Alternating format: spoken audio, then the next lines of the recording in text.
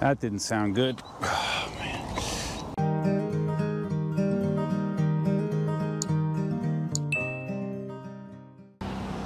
How you doing, Duff here? You're um, on the back of my Tacoma bed right now because you're on a different whoa, you're on a different selfie stick than you're normally on. What the heck? accidentally turned on my wheel, which is the Kingsong 18L. Look how far away you are. I actually have you on my old five foot selfie stick. I forgot I had this.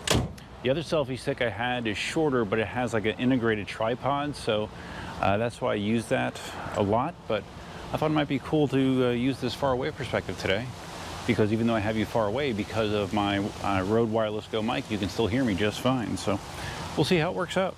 All right. So I just picked up my second Dunkin' Donuts coffee of the day.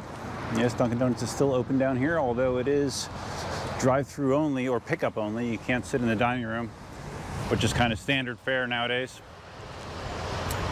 And uh, I just felt the need to get out and ride. You know, there's the uh, the levels of insanity uh, in the world right now are increasing daily. Panic has taken hold. And um, if you know me, I don't react well to panicking people. It's just not my style. So as far as the personal um, situation here in Southwest Florida, I think last time I talked to you guys was when I did the live stream the other day.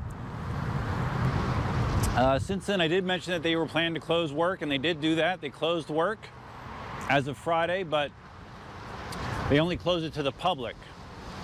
So uh, all employees still reported on Friday, and, and I believe that is going to be the status quo for the foreseeable future. Officially, the closing is until April 3rd, uh, where at, at that point we are supposed to reevaluate and uh, we will either reopen or we will close for a longer period of time. And right now my uh, money is on the latter. All right, I'm at the, um, the Logan Boulevard extension area again. We're gonna be riding that. You know, the thing that I rode, whoa, soft sand. Whoa. The thing that I rode with the uh, MSX a few weeks ago. We're now gonna be doing it on the Kingsong 18XL, 2200 watt hour. And no, we're not going for any speed records. We are just trying to decompress. Definitely need to decompress. Gather my thoughts. Uh, and, um, you know, oh, this is not going to be a fun period of time, guys. And, um, the scary thing is we are only in the beginning stages of it, seriously. It's not gonna be fun at all. Whoa. And with a stick this long, it just wants to drag on the ground. So anyways, what I was saying was, uh, you know, work is now closed to the public. They have closed the beaches. Um, I guess uh, people finally got sick of seeing the spring breakers uh, totally ignoring the social distancing concept. So the beaches in Collier and Lee County have been closed to the public.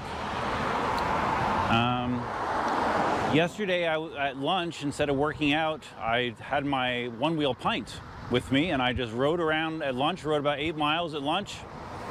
And um, one thing that is not closed here are golf courses. And there's a small golf course around where I work and when I rode in there, there's a whole bunch of old people playing golf and uh, I, I, they were not uh, exercising social distancing either. So, but yeah, things things uh, are continuing to progress, and not in a good way. I like having the um, the longer pole here. It's nice. Uh, logistically, it's a little bit more um, troublesome. When you have it fully extended, there's a decent amount of weight hanging off the end. I think this is a good way to mix stuff in. You know, mix, mix in uh, perspective so you're not always seeing the same thing. Kind of fun. Don't see a lot of people out right now. the uh, this morning I did um, go out, dropped off some mail. Oh, here comes someone on a bike, and there's no room on this sidewalk, so we're gonna move over.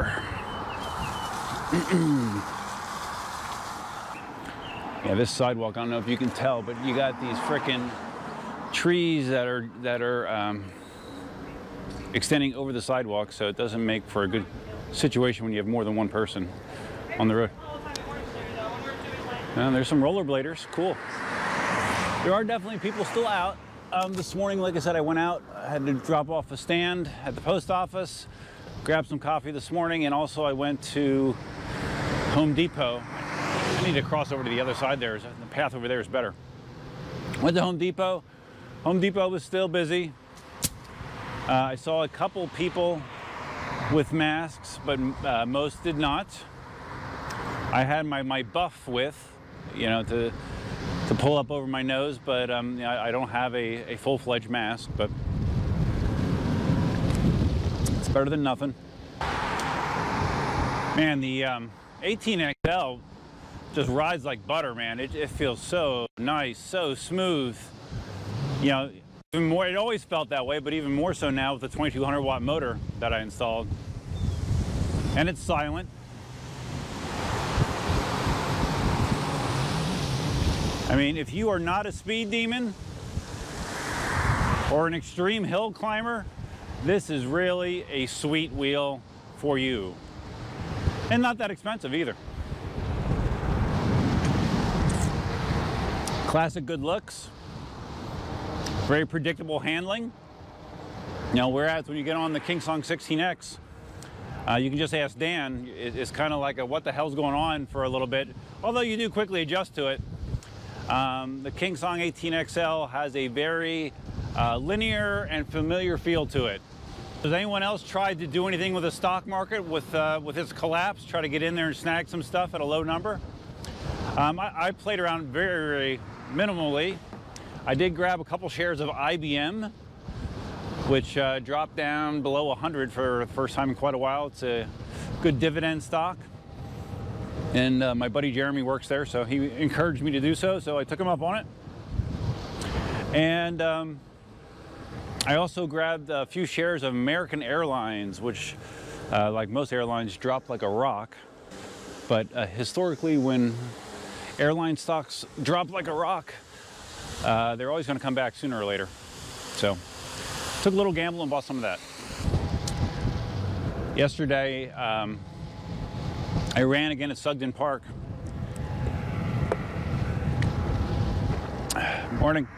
And the um, the beach there was closed as well. They have a they have a Lake Avalon as part of Sugden Park, and that there's a small beach. That area was closed off. It was a very uh, difficult run. It was the warmest that it's been for me to run that. It was like 85, 86 degrees, and I was I was freaking tired, man. It was uh, one of those um, gut checks where you, you just want to stop. Uh, but I didn't. I didn't wear a watch. I don't know how slow I ran it, but it, it was definitely uh, slow. But I endured. I don't know about you guys, but the uh, grocery situation has not really gotten any better in our areas. Uh, you know, paper goods are still out of stock.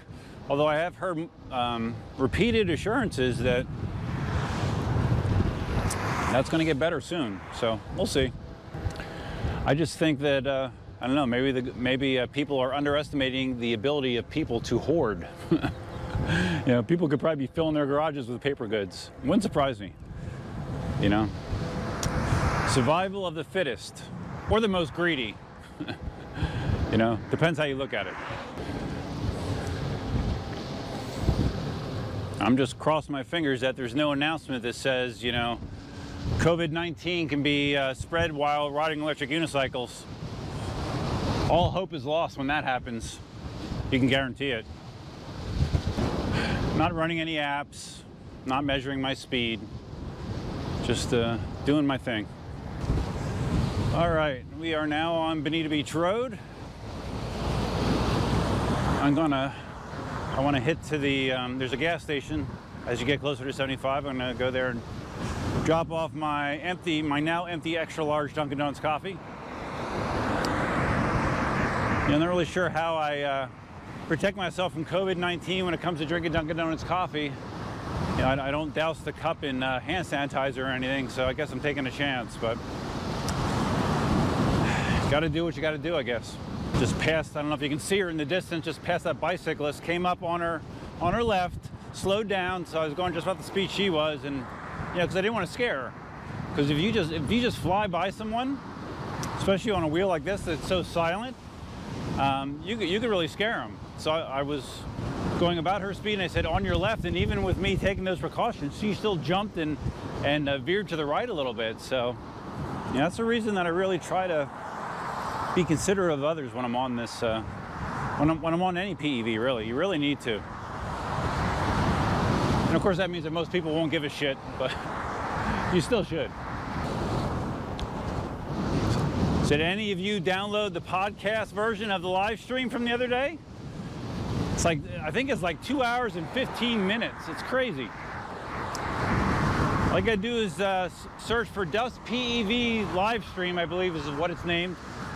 It's on all the, um, well, it's on Google Play, it's on um, iTunes and Spotify, I believe are the three I have it on. So, yeah, if you use any of those services and you want to hear the podcast, check it out. And there's also, there's a total of 30 of them on there. So you can always go back and listen to old episodes as well if it floats your boat.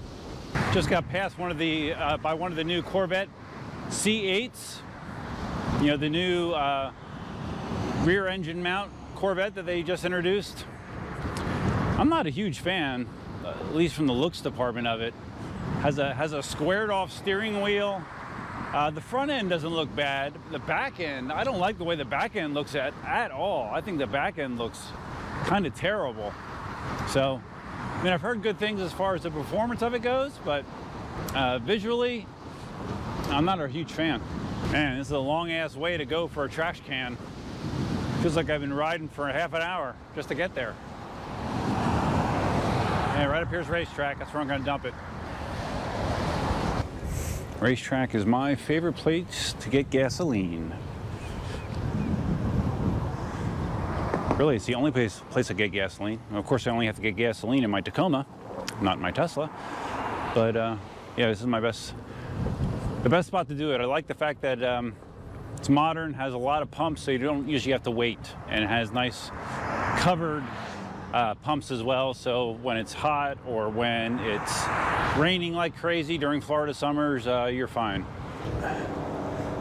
All right, here we go. In the middle of the road. Gonna be doing a U-turn. U-turn, do do do do. All right. Now reversing direction for real.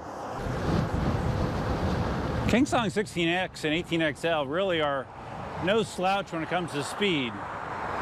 You know, the hardcore speed demons, uh, you know, uh, look down on them because they don't go 35 miles an hour or whatever, or 41 miles an hour, but I would argue that the overwhelming majority of the EUC community does not feel the need to go that fast. And if that's the case, this is a damn nice choice. I just thought of something awful. If a shelter in place warning comes by by the governor of Florida, you know, where they say like all non-essential businesses must close, blah, blah, blah, which I think is, is probably the way that most states are going to wind up going. But I wonder if that means that Dunkin' Donuts would have to close. I don't know. Like Marty, maybe you can tell me. You know, since you live in California and you have a shelter in place edict in place right now, is Dunkin' Donuts still open?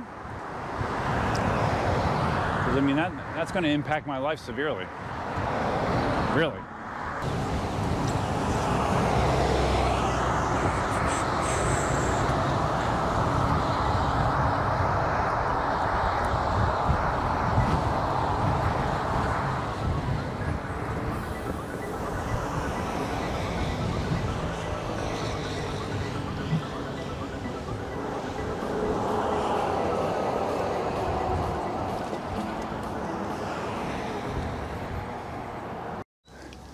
That didn't sound good. Oh, man.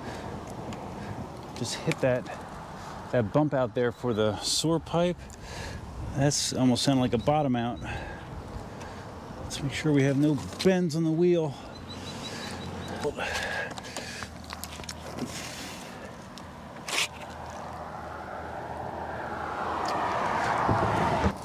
Should have slowed down. I didn't think it would be quite as impactful as it was. Not seeing anything. All right, I think I'm all right. I think, let's see, does it feel okay? Uh, yeah. All right, I think we're all right. Yeah, it's ironic because just on the live stream, uh, there was someone in there that uh, did exactly that. He hit like a pothole with his wheel. Tire pressure must have been very high and uh, it bent the rim to the point where uh, he has to get another motor. So I really don't want to do that. I just got this motor. That's a question that I get fairly often in the comments of my videos. People ask me um, what tire pressure I run at. You know, keeping in mind that my weigh, you know, my riding weight is probably 190 pounds. Um, I found that I like to keep my tire pressure in the mid to upper 20s. Like I usually set at 26, 27, and that's good for me. That gives me enough bounce. You know, it cushions the ride, um, but still feels stable at high speed. I found that if I go real high in the PSI, not only is it a harsher ride, but I, I almost always seem to have more speed wobble problems at a higher PSI at higher speeds. So um, yeah, I'm good 26, 27. So those of you that were on, uh, on the live stream, you heard my story. You may or may not have heard my story about the uh, one uh, guy I had in the store, uh, an irate customer and had to do with the uh, the kickstand that I sold him for the Kingsong 18L and XL. Uh, right here I have one on my on my wheel. This is the thicker model that we came up with to hopefully be more robust. So yeah, that's what it looks like. I don't know, I gotta stop and check the uh, tire pressure again. This is feeling a little wonky right now. All right, it still feels okay. Feels on the soft side, but not, not dangerously low, so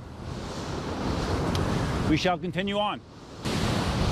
One good thing about getting out here and riding in the nice hot Florida sun is, uh, you know, sunshine kills virus. So just think of it as a big sanitizing uh, experience. I'm sanitizing, right?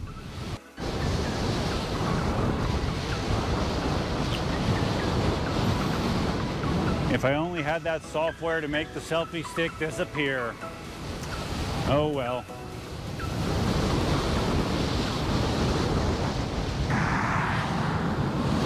One good thing about social distancing is it's good for uh, gearing up your WoW characters. I mean, man, my my my WoW characters are all going to be uh, geared to the max by the time this is done. Great way to kill some time. All right, we are almost back to Immokalee Road. Man, I'm thirsty. Uh, I thought drinking an extra large coffee might help my thirst a little bit, but it has not. All right, let's see if we can manage this with my extreme riding. Extreme. Oh boy, this is gonna be extreme. Extreme. Extreme. extreme. Nice. I mean, I usually keep all my extreme riding for my one wheel, but that was pretty extreme right there. And then we have um, one more extreme section coming up through this deep soft sand. Here we go. Extreme. Extreme. Oh yeah. 18XL. Handling it with ease. Nice. Ooh. All right. We've made it. We have made it back in one piece. And I guess I feel a little bit, a little bit better. Not great, but a little bit. Just stay there, will you? All right. Just checking the wheel one more time. Make sure I don't see any horrible out of roundness here. No, it's it's fine. Thank goodness. I mean, COVID-19 is bad enough. I mean, who needs who needs uh, I really need to think about getting another action cam. This freaking GoPro just drives me crazy, man. It just goes into these weird states where it becomes unresponsive, then suddenly, after holding down buttons for a long period of time, it'll actually respond. And I still attribute it all to um, when I um, crashed uh, way back when. Oh wow, I lost the. I wonder what happened to that. There, there you, well, maybe you can see it. There was a little remote in here that was designed to uh, be able to fire off the GoPro remotely on the selfie stick, and evidently that fell out somewhere during the ride. I never used it, so I guess it's not a huge deal, but I guess I'm not going to be using it in the future. Oh well. So that's going to wrap the ride up. Um, hopefully you found it interesting. If you did, please think about giving the video a thumbs up or a like. Likes help. If this is the, your first time visiting the channel, or if you're just one of those 87% of people that watch my videos and, and, are not subscribers, think about subscribing. If you're going to subscribe, hit the uh, notify bell on the left so you're notified of all uh, future videos. You know, we don't want to we don't want to miss a video. Feel free to leave your comments, suggestions, ideas, and thoughts below. Feel free to let me know um, how you are utilizing PEVs, you know, EUCs, one wheels uh, during the COVID-19 pandemic hysteria. Uh, I know I'm going to use it uh, sort of as therapy, I guess, you know, therapy and, and a and the eye of the storm, maybe, is, a good way to describe it. Oh yeah, I shaved my head, by the way. Um, so that's all I have for you for now. Hope you have a good weekend. You might see me tomorrow. Until next time, Duffman out. Wow. Says it's 100 degrees outside. I don't think that's accurate, uh, but I bet it's in the upper 80s.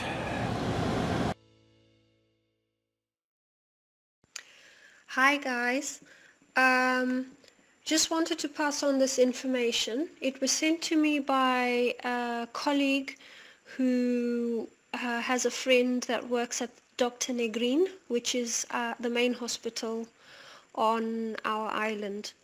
Um, it's obviously in Spanish, so I'm just going to read it and translate it for you. Um, this is what it says. The Chinese now understand the behavior of the COVID-19 virus thanks to autopsies that they have carried out. This virus is characterized by obstructing respiratory pathways with thick mucus that solidifies and blocks the airways and lungs. So they have discovered that in order to be able to apply a medicine, you have to open and unblock these airways so that the treatment can be used to take effect. However, all of this takes a number of days. Their recommendations for what you can do to safeguard yourself are Number one, drink lots of hot liquids, coffee, soups, teas, warm water. In addition, take a sip of warm water every 20 minutes because this keeps your mouth moist and washes any viral, any of the virus that's entered your mouth into your stomach where the gastric juices will neutralize it before it can get to the lungs. Number two, gargle with an antiseptic in warm water like vinegar or salt or lemon every day if possible. Number three, the virus attaches itself to hair and clothes. Any detergent or soap kills it, but you must take a bath or a shower when you get in from the street. Avoid sitting down anywhere and go straight to the bathroom or shower. If you cannot wash your clothes daily, hang them in direct sunlight, which also neutralizes the virus. Number four, Wash metallic surfaces very carefully because the virus can remain viable on these for up to nine days. Take note and be vigilant about touching handrails and door handles, etc. I guess within your own house as well, you can um, make sure that you are keeping those clean and wiping them down regularly. Number five, don't smoke. Number six, wash your hands every 20 minutes using any soap that foams. Do this for 20 seconds and wash your hands thoroughly. Um, number seven, eat fruits and vegetables. Try to elevate your zinc levels, not just your vitamin C levels.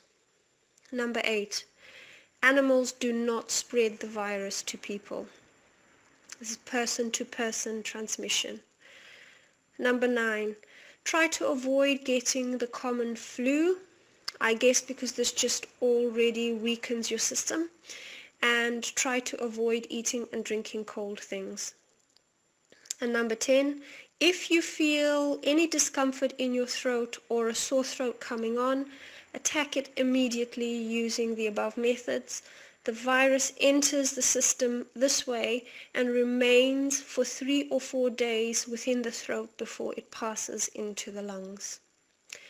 Good luck to everyone. Take care of yourself and pass this information along if you wish.